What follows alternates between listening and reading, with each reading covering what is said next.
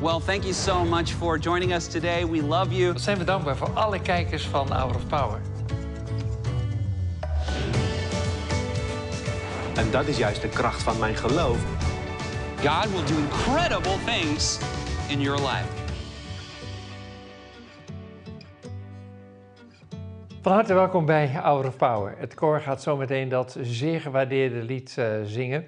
Wat ook veel Nederlanders prachtig vinden. I Will Rise. Ze hebben dat gezongen tijdens een tournee. Wat lijkt het alweer lang geleden dat we het koor hadden en volle kerken enzovoort. Maar we hopen dat Bobby en Henna in het najaar weer terugkomen voor een uh, rondje Nederland, als ik het zo mag noemen. I Rise gaat over het feit dat je opstijgt als op vleugelen van een adelaar en daarmee de dagelijkse problemen ontstijgt. En daarover zingt Melanie Collins over dat je soms geen weg meer ziet in het donker, maar dat er altijd een uitweg is. Ja, over een weg en een uitweg vinden, daarover praat ik met mijn gast van Koten. 14 jaar lang was ze gekluisterd aan een rolstoel of aan bed of ze kon niet lopen. En dat had hele dramatische gevolgen in dat jonge leventje. En hoe ze daardoor heen komt en hoe ze van lijden geleerd heeft, vertelt ze zometeen in Hour of Power. Van harte welkom en uh, vergeet het niet, we will rise.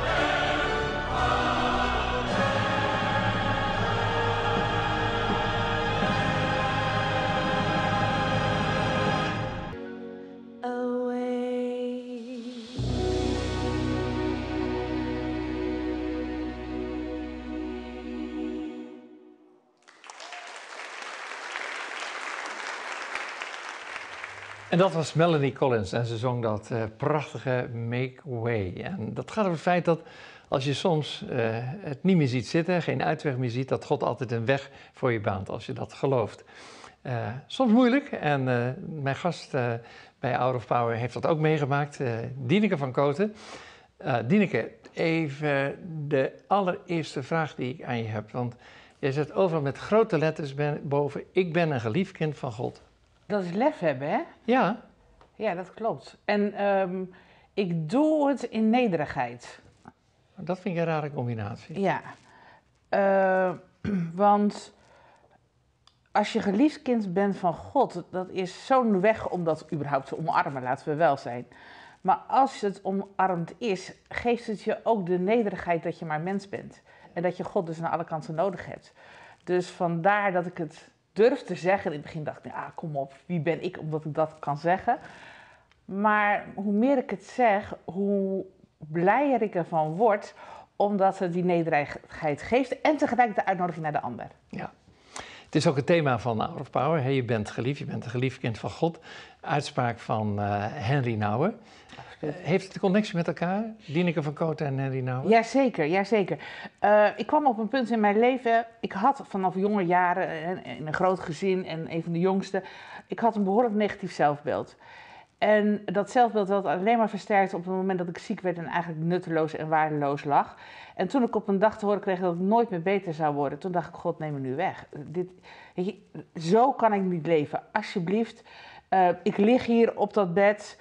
Uh, ik kan niet de vrouw zijn voor mijn man, niet de moeder voor mijn dochter. Ik kan niets voor niemand iets betekenen, alleen maar liggen.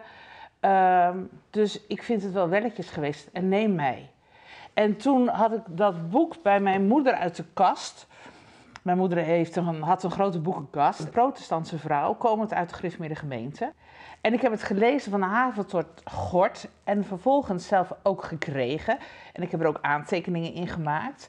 Ik heb het diverse keren gelezen, zelfs zodanig dat ik pas veel later erachter kwam dat die prachtige tekening zomaar uit te vouwen is en mee te nemen in het boek. En gaandeweg las ik dus ook van de oudste zoon, die zo ontzettend zijn best deed om erbij te mogen horen. En uh, op een dag van zijn vader te horen, je doet het goed. Die heeft zich helemaal uit de naad gewerkt. En vond eigenlijk dat het met de jongste zoon, dat hij zomaar kon doen wat hij wilde en terugkwam, dat dat niet klopt. Want kijk eens hoe hard hij werkte. En daarin laat hij gewoon zien, ook naar die oudste zoon toe, kind, je bent altijd, zegt de vader, je bent altijd mijn kind geweest.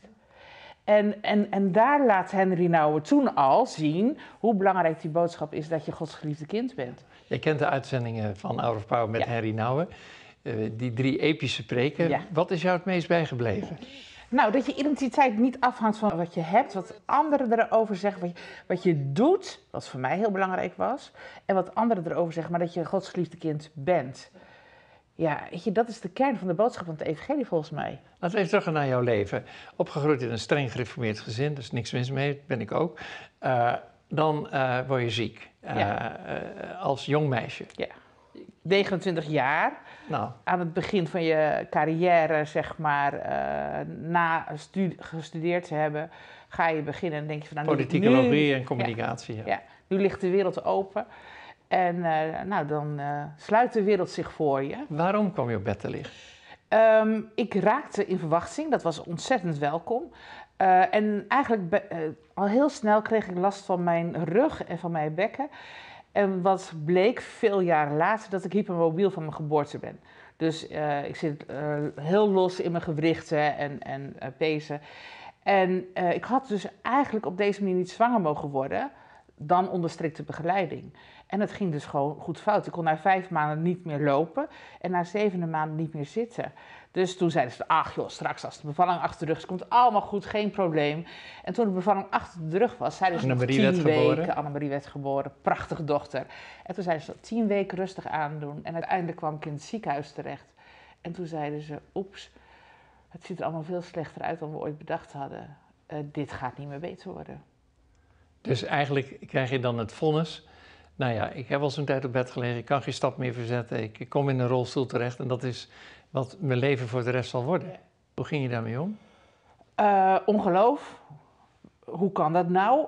Alles doet het nog, bij wijze van spreken. Hebben jullie geen uh, corset? Hebben jullie niet dit? Hebben jullie niet dat? Toen hebben ze op een gegeven moment ook gezegd: Weet je, we sturen je door naar uh, het revalidatiecentrum. om daar te leren omgaan met het feit dat je niet meer beter wordt. En toen moest ik. Was je niet boos op God? Geen tel. Jan, nou ja, hallo. Kijk, ja, Jan, kijk naar de wereld. Kijk naar, naar jij bent bereisd over de wereld. Veel ellende, gebreken. Denk je nou werkelijk bij dat ik als mens kan zeggen... waarom overkomt mij dit wel? Er iedereen wat overkomt? Nee, dat, ik ben niet boos geweest. Natuurlijk ben je, je wereld stort in, dat is een ander verhaal. Ja. Een enorme worsteling geweest van hoe ga je daar nou mee om? Dus zoals ik al eerder zei, van, ik wilde eigenlijk dood. Weet je, als het dan toch niet van betekenis kan zijn, uh, dan is mijn werk hier gedaan en, en kan ik gaan. Ik vond dat wel een hele goede overeenkomst. Dat vind ik een mooie, hè? Maar God niet. Als mijn werk hier is gedaan, dan kan ik gaan. ja. Dankzij Henry Nouwen ben ik naar kloosters gegaan als protestants meisje. Waar, waarom krijg je tranen in je ogen? Nou, omdat dat natuurlijk wel een heel bijzonder iets is. Het een volgt het... Als ik Henry nou niet had gelezen, was ik nooit naar een klooster gegaan als protestants meisje.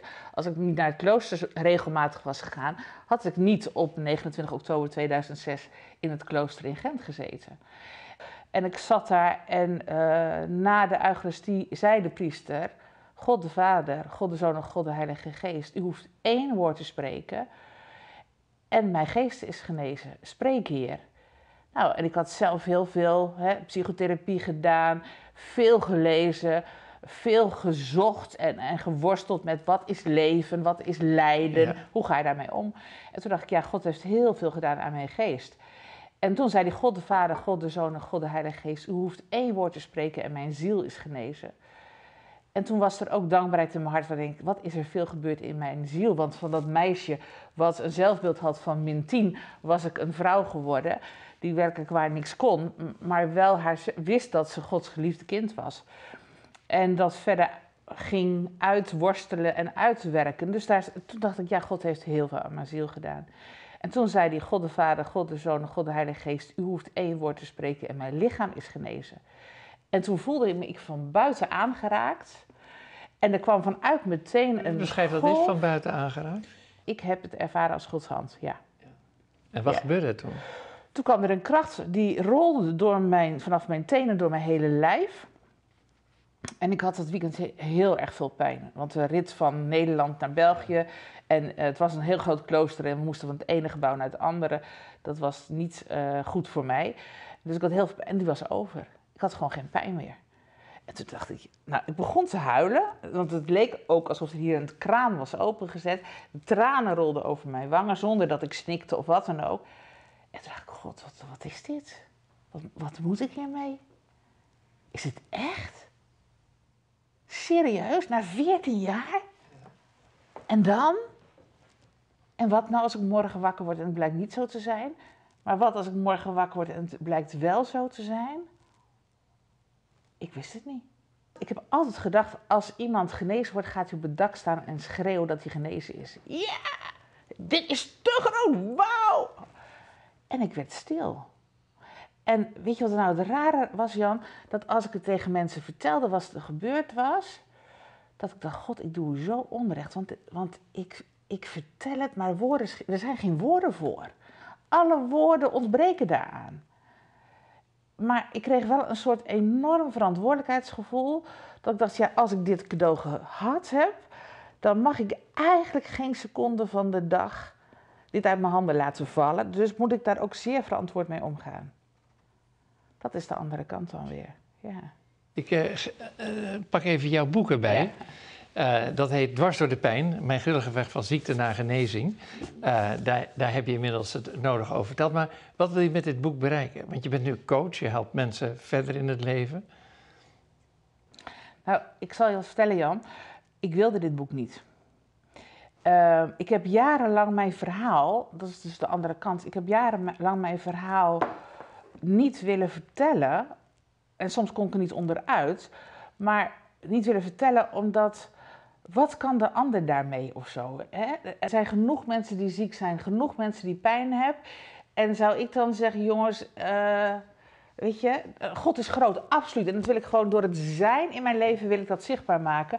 Maar waarom ik het niet wilde vertellen, is omdat ik het ook een dramaverhaal vind. En ik hou niet zo van dramaverhalen. Vond ik lastig om onder woorden te Maar brengen. het is een mooi boek, ik heb er delen in gelezen. Maar jouw gedichten vind ik ook mooi. Ja. Er ligt nog een boek van, eh, van Henry, Liefs van Henry. En er staan brieven die hij aan mij geschreven Ja. heeft in. Maar ook één voor jou, hè? Ja, ja. Ja, lees hem eens voor, een stukje. Eh, dat had... Maar jij ging gewoon een brief schrijven aan Henry. Nou, na alles wat ik gelezen had, bleven er vragen bij mij over. En toen dacht ik, nou ja, die man wordt heel ver weg en ik kan hem een brief schrijven. Ik weet niet of ik antwoord krijg, maar dan heb ik ergens het neergezet. Zal ik het eerst lezen en daarna Ja. mijn reactie Ja. geven? Ja. Vlak voor hij aan een sabbatsjaar begint, schrijft Henry aan een Nederlandse vrouw die hem om raad heeft gevraagd over haar gebedsleven. 6 september 1995. Bedankt allereerst voor het vertrouwen dat je me geeft door te vertellen wat je doormaakt. Je zult wel beseffen dat ik geen precies antwoord heb op al je vragen, maar ik ontvang je vragen meer als een uitnodiging tot contact tussen twee zoekende christenen, dan als een vraag om uitsluitsel over bepaalde kwesties.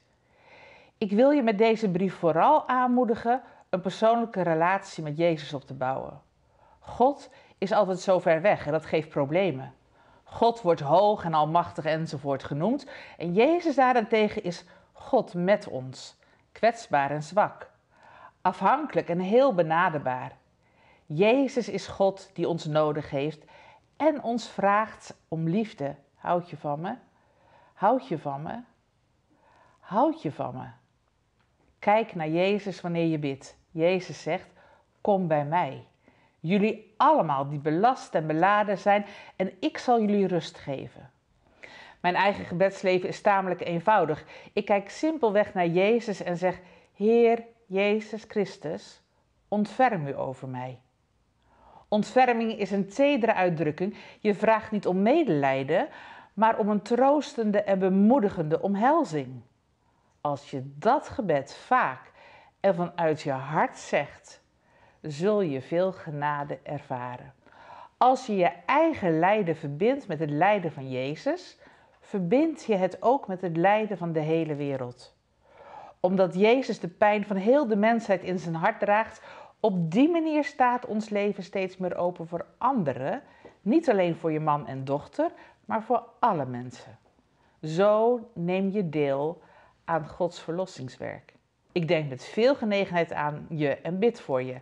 We blijven in contact. Liefst Henry. Heel mooi, want je had nooit gedacht dat je een antwoord van hem zou krijgen. Dieneke, wij komen aan het einde van dit uh, mooie gesprek. Wat is je wens? Wat is je droom? Dat we ons eigen lijden, dat ik mijn eigen lijden verbind aan het lijden van Jezus Christus. Dat is een diepe. Dankjewel. Ik vond het heel fijn om jou hier uh, te gast te hebben, Dieneke. En dank voor je openhartige verhaal. We hebben een bureauklapper met allerlei uitspraken van Henry voor 52 weken per jaar. Ik had deze even voor je uitgezocht. Uh, nou, je kan zo goed Henry voorlezen, dus kijken of je dat ook goed kunt. Wat ons mens maakt, is niet ons verstand, maar ons hart. Niet ons vermogen om te denken, maar om lief te hebben. Amen. Voilà. Dankjewel. Ik geef je hem uh, heel graag. Dank je. Uh, ja, ik pak hem niet door, maar ik doe even, ik doe even zo, dan, zie je, dan staat hij er even mooi bij. Heel hartelijk dank dat je hier aanwezig was. En uh, je boek Dwars door de Pijn is te bestellen. En ik wens je alle goeds toe en een prachtig verhaal van een jonge vrouw die zo lang en zoveel pijn heeft gehad. En die door, ja... De aanrakingen. Door God aangeraakt en nu hier zo mag zitten. Mooi. Ga zo door. Dankjewel. dankjewel. En wij gaan terug naar Shepherd Grove.